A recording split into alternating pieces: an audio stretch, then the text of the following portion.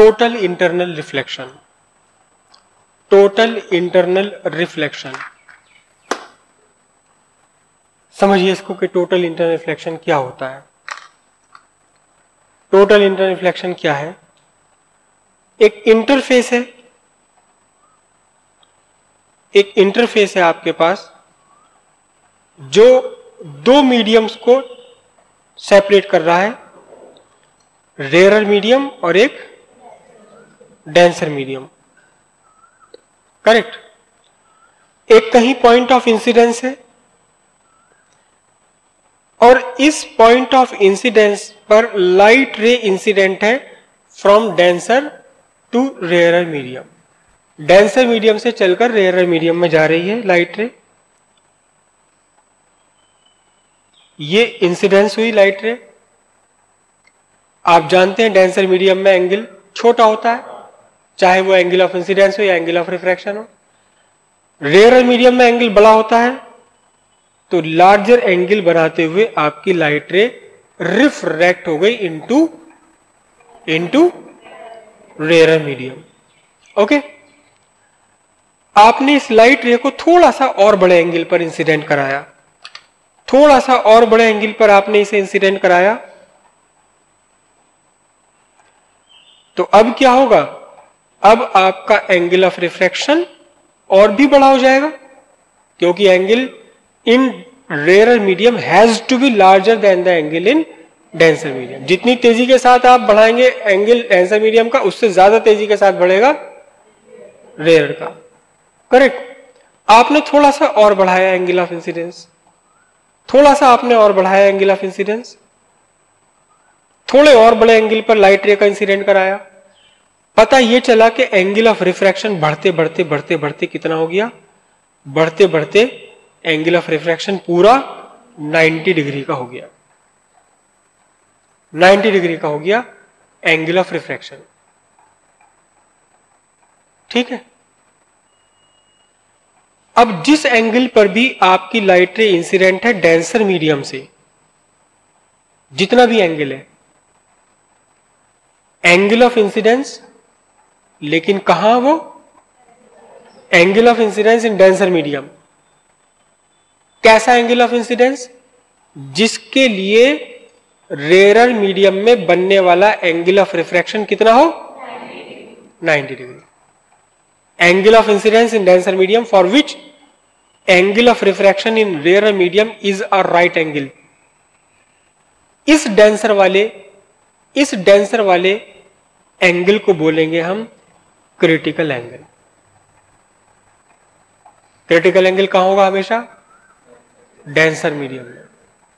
Denser medium में ही होगा और कहीं नहीं होगा रेयर में नहीं हो सकता कभी भी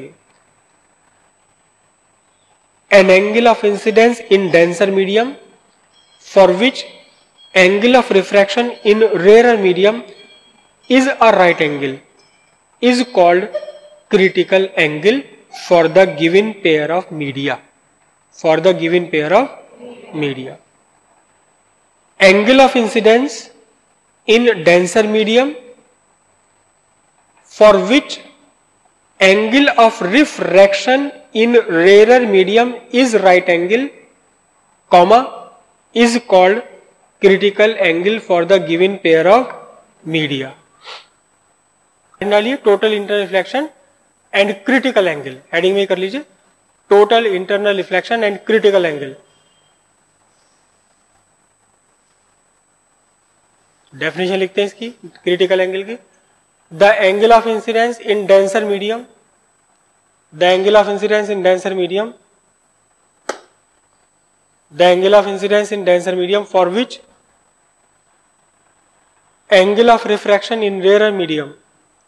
for which angle of refraction in rare medium is right angle comma is called critical angle for the given pair of media is called critical angle for the given pair of media ये हमने तीन light rays यहां draw की हैं जो denser से rare medium में जा रही है, है? एक बात याद रखिएगा आप कि जब भी कहीं किसी मीडियम एक मीडियम से दूसरे मीडियम में रिफ्रैक्शन होता है रिफ्रैक्शन के साथ रिफ्लेक्शन होता ही होता है हमेशा कुछ स्पेशल कंडीशंस को छोड़कर जो अभी हमारे ट्वेल्थ क्लास के स्कोप के बाहर है हम ट्वेल्थ क्लास तक यही कहेंगे कि whenever there is refraction it is accompanied with reflection और इसका सबूत भी है आप पानी की बाल्टी में भारी पानी से भरी बाल्टी में देखिए आप आपको अपना फेस दिखाई देता है इसका मतलब उस पानी की सरफेस से लाइट रे रिफ्लेक्ट होकर आप तक पहुंच रही मिरर की तरह वर्क कर रहा है वो लेकिन आपको पानी के अंदर तली में पड़ा हुआ अगर कुछ है तो वो भी दिखाई दे जाएगा इसका मतलब लाइट रे रिफ्लेक्ट भी हो रही है दोनों काम एक साथ हुआ करते हैं यहां देखते हैं कि दोनों काम कैसे एक साथ होने ये पहली वाली लाइट रे को मैंने बनाया रिफ्रैक्टेड लाइट रे ये इंसिडेंट लाइट रे और इसका कुछ पार्ट क्या होगा इसका कुछ पार्ट रिफ्लेक्ट भी हो जाएगा इनटू डेंसर मीडियम और जब ये रिफ्लेक्शन होगा तो बिल्कुल रिफ्लेक्शन के ही लॉ फॉलो किए जाएंगे angle of reflection equals angle of incidence refraction वाली लाइट रे रिफ्रैक्शन के लॉस फॉलो करेगी reflected light ray laws of reflection follow करेगी आपने दूसरी वाली लाइट रे ली थी ये निकल गई तो फिर इसका कुछ पार्ट क्या होगा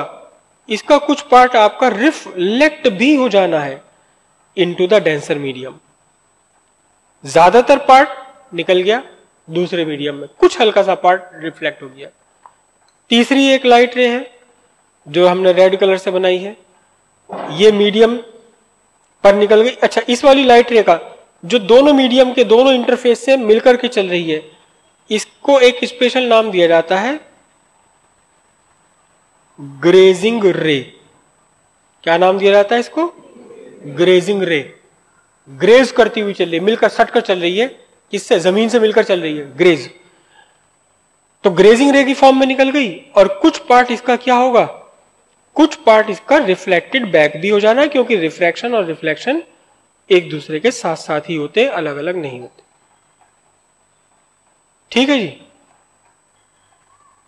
कलर्स आपको दिखाई दे रहे ना डिफ्रेंशिएट हो रहे सारे कलर अब क्या हुआ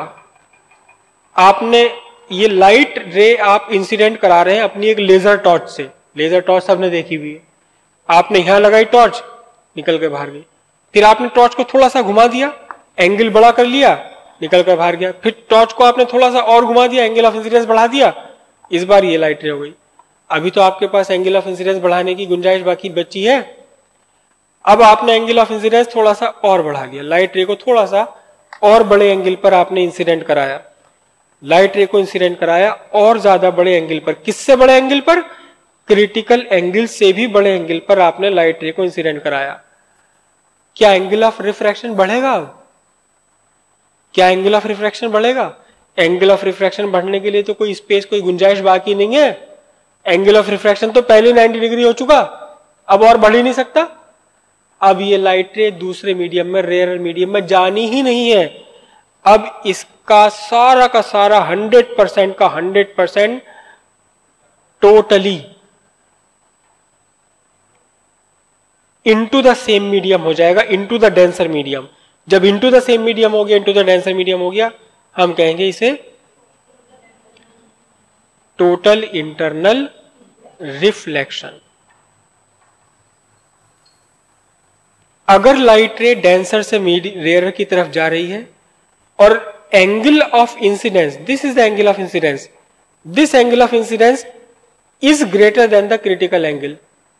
तब लाइट रे रेयर मीडियम में जाएगी नहीं it is totally reflected back into the denser medium. Now this phenomenon is called total internal reflection. Total internal reflection. Heading डाल दीजिए total internal reflection. When light rays अच्छा ये तो आप heading डाली रखी पहले लिखिए when light rays incident from when light rays incident from when light rays incident from denser towards rare and medium. Denser towards rare and medium.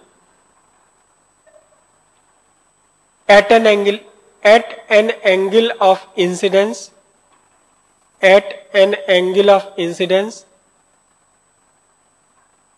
larger than the angle of larger than critical angle larger than critical angle for the given pair of media larger than critical angle for the given pair of media जहां भी हम critical angle word लिखेंगे उसके साथ साथ उसकी पूछ जरूर लगाएंगे क्या है इसकी पूछ for the given pair of media हाँ क्या लिखा आपने when the light ray is incident from denser towards rare medium at an angle of incidence greater than the critical angle for given pair of media comma the light does not pass into the rarer medium the light does not pass into the rarer medium the light does not pass into the rarer medium instead instead it is reflected back it is reflected back into the denser medium. It is reflected back, bracket में एक word और लिख लो back के बाद में totally. It is reflected back totally into the denser medium. This phenomenon is called total internal reflection. This phenomenon is called total internal reflection correct जरा बताइए तो सही टोटल इंटरनल रिफ्लेक्शन के लिए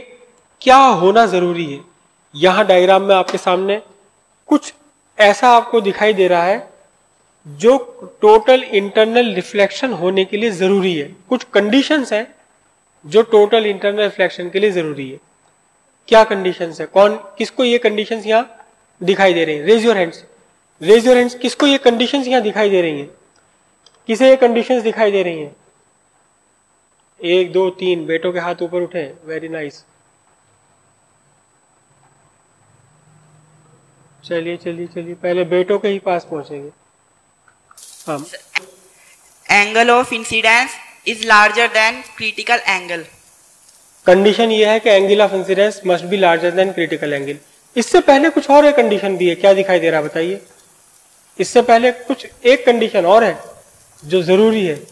ये क्रिटिकल एंगल से बड़ा होने वाली बात तो बाद में आएगी कुछ दिखाई दे रही है कंडीशन नहीं ओके रेज योर हैंड किसे दिखाई दे रही है इससे पहले की कंडीशन इससे पहले की कंडीशन आप में से किसे दिखाई दे रही है ये तो कंडीशन है ही आपने जो बताई है बिल्कुल ठीक कंडीशन बताई है इससे पहले कुछ और होना ज़रूरी है इससे पहले कुछ और होना ज़रूरी है चलिए दो हाथ उठे हैं हाँ सर क्रिटिकल एंगल और ग्रेजिंग रे क्या क्रिटिकल एंगल और ग्रेजिंग रे ग्रेजिंग रे मतलब कहीं कोई क्रिटिकल एंगल होना चाहिए ग्रेजिंग रे होनी चाहिए नहीं नहीं नहीं कोई और मीडियम इंसिडेंट रे फिर से बताइए the incident ray must be refract from denser medium to rare medium चलिए चलिए जरा मनिका को दीजिए राधिका को the incident ray must be incidence from denser medium to rare medium फिर से बोलिए the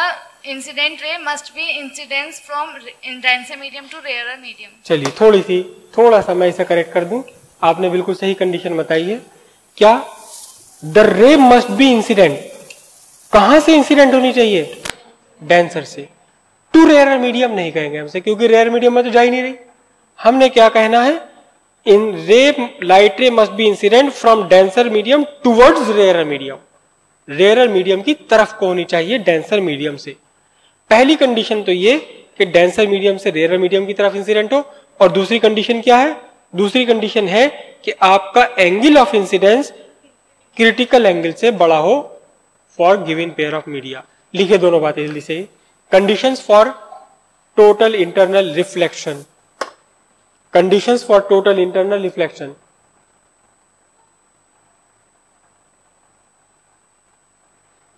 first condition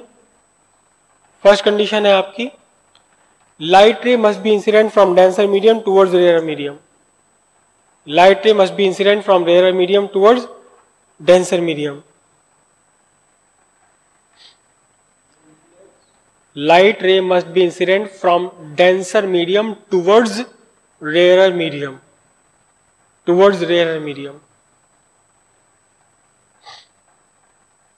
Second condition, angle of incidence in denser medium, must be larger than critical angle angle of incidence in denser medium must be larger than the critical angle for the given pair of media must be larger than the critical angle for the given pair of media और इसके बाद आप जल्दी से ये diagram